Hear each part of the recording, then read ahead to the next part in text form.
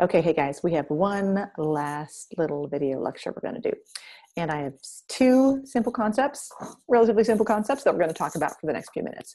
One of those concepts is latent heat, and the other concept has to do with the types of chemical reactions uh, and energy that is associated with different types of chemical reactions. So um, let's go ahead and jump in. And we're going to start by talking about this concept of latent heat. Now, I want to give you um, kind of a, a uh, an example of something that will show you kind of the idea of latent heat, and that is um, a cup of ice water. Now, if you take a cup of ice water and measure the temperature of it, you would find that if it has both ice and water in it, you would find it has a temperature of 32 degrees. Now, interestingly enough, it will stay at 32 degrees uh, until the last little bit of ice is melted. And then uh, at that point, uh, the temperature would, if you add energy to that cup of water, the temperature would begin to rise. You can add uh, energy in the form of heat to that cup of ice water before the ice is melted. But what you will find is there is no temperature increase. So even though there is heat being added, there is no uh, resultant change in temperature from the heat that is added. So if you know you're adding, suppose you're adding heat, you know you're adding heat, and you see no change in temperature. What's happening? What's happening is that the energy in, that is being uh, added to the cup in the form of, of, of, ice water in the form of heat is being used not to increase temperature, but rather to rearrange molecules. And that process of rearranging molecules is a concept that uh, uh, uh when you're talking about a phase change, right? So either uh, solid liquid, liquid to vapor, or the other way around, vapor conden- condensing into liquid, or uh, liquid uh, fusing into ice. All of those, the concept of those molecules, the energy being used to rearrange molecules at phase changes is what we call latent heat. So I'm going to pull up a document to share with you and we'll look at a couple things real quick. Okay, I'm gonna get there yet. So here we go. Um, latent heat. I'm gonna give you the actual definition of it. Latent heat is the amount of energy in the form of heat that is absorbed or released by a substance during a phase change. So in phase changes, energy is required. The energy that's required to, to complete the phase change uh, is spent rearranging molecules rather than changing temperature, which is what heat typically does when it is um, applied to a substance. Okay, so um, and he, latent heat is usually quantified by the letter L. I'm actually to pull up my little thing. So we quantify latent heat with the letter L. Now, each substance has its own specific latent heat, okay, for uh, these phase changes. And we can have a latent heat of fusion, which we would designate with an L sub F, or we can have a latent heat of vaporiza- vaporization, which we're going to quantify by L sub V. Now, understand that that latent heat is tied to a specific substance. So each substance has its own latent heat. Um, also, it, I want you guys to make sure that you understand that whether you are um, the latent heat of, of fusion applies to both the phase change from solid to liquid and the phase change from liquid to solid. It doesn't matter which way you're going, the, latent heat, L sub F, for a substance is going to be the same. Okay, down here. And then the same thing is true when you're when you're dealing with the latent heat of vaporization. If you're going from liquid to gas, if you're going from gas to liquid, the latent heat for a particular substance would be the same. Um, and so we have this latent heat. Uh, it is the amount of energy absorbed or released by a substance during a phase change.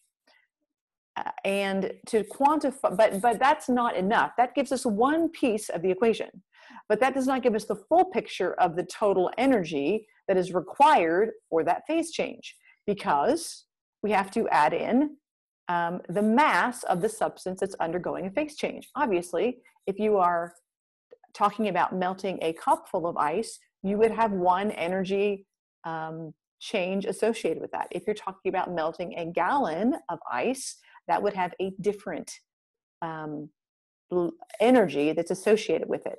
Now, the latent heat of fusion for both of those would be the same, but you would have a different mass. And the equation for solve for determining that is that the energy is equal to the mass of the substance times the latent heat. Okay, whether you're talking about latent heat of fusion, latent heat of vaporization, and we would call this Q sub F or Q sub fusion, and down here we would have Q sub vaporization. And this one would be equal again to the mass of that substance, whatever it is, times the latent heat of vaporization. Okay, so that's how you determine the overall energy that is um, involved in a phase change. Uh, one other thing I want to make sure uh, to that you know is that if you are moving from solid to liquid or from liquid to gas, you would have an, an energy change that is positive. If you're moving this way, you have a positive energy change. Okay. If you're going from gas to, to liquid or liquid to solid, you're going to have an overall energy change that is negative. All right. Oops, I shouldn't make that go the other way. Yeah, it's this way, like I'm showing with the arrow, that's going to have a negative energy associated with it. Okay, so that is latent heat. All right, I'm going to erase this stuff so we can move down to the next part of the chapter or next part of the lecture, and we will talk about um, the energy that's associated with chemical reactions. All right. All right, let's scroll down here. So there's our equation again. Q equals M times L. Q is the energy that's either released or absorbed. M is the mass of the object and that's undergoing the phase change, and L is our latent heat. Okay, let's go ahead and talk about types uh, of energy or energy that's associated with different types of chemical reactions. We have two uh, ways of quantifying energy in relation to chemical reactions. We have some reactions that are endothermic. That means it absorbs energy. And we have other reactions that are exothermic. And that means the chemical reaction releases energy. Um, so those are the two ways that we are going to categorize types of chemical reactions. Um, and I do want you to use the word absorb and release. They are much more precise than saying gain or lose, um, and they paint a better picture of what's happening. Now, the thing that's really important to understand is that, so you kind of might be wondering, okay, so where is all this energy coming from, right, in terms of chemical reactions? Well, it turns out that we have some uh, energy that is kinetic and we have other energy that is potential. And for a chemical reaction, that potential energy is the energy that has to do with the position, the composition, the arrangement of the molecules themselves. Okay, so where do we have energy in relation to position, composition, or arrangement? Well, that energy exists within the bonds of the molecules themselves.